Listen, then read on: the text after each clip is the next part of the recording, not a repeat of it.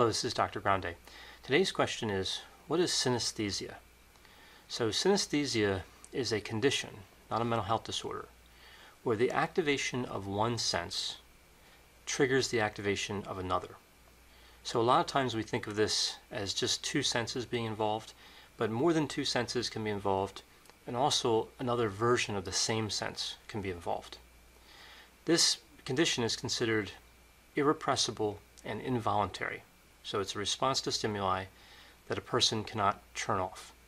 There are many subtypes of synesthesia, but the most common would be where letters produce colors. So B, for example, could be viewed as orange or 5 as blue.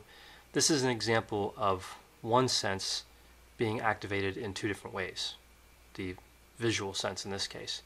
The next most common type is where sounds are seen as colors, shapes, or textures.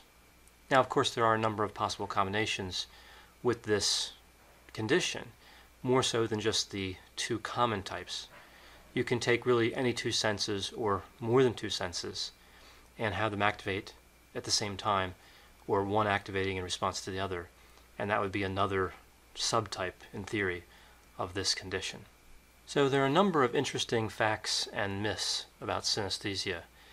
We know that the associations that individuals make when they have this condition are amazingly consistent. They're not random and they don't seem to follow some sort of pattern where they change.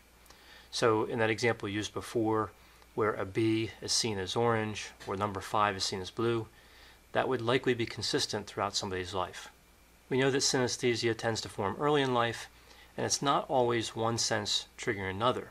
There may be a bidirectional component for some individuals who have this condition, meaning they may see the color blue and think of a 5 in that example where normally they would see a 5 and see the color blue. Synesthesia affects about 4% of the population.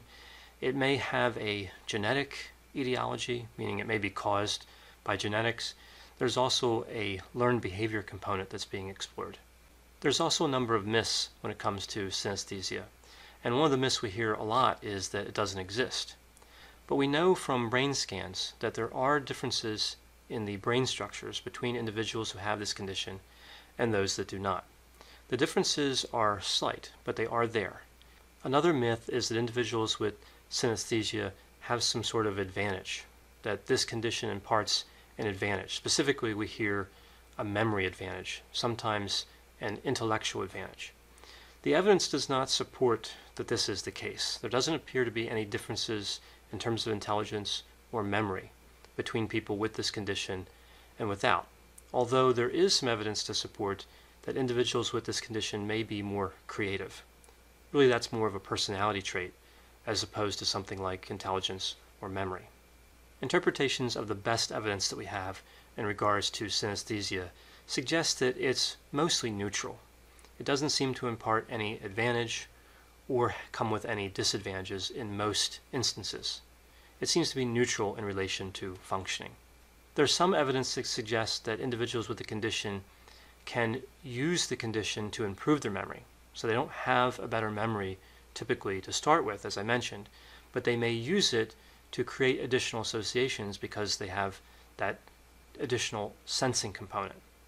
In terms of possible disadvantages, we see in the literature that sometimes it can interfere with reading, specifically when the numbers or letters come up as colors.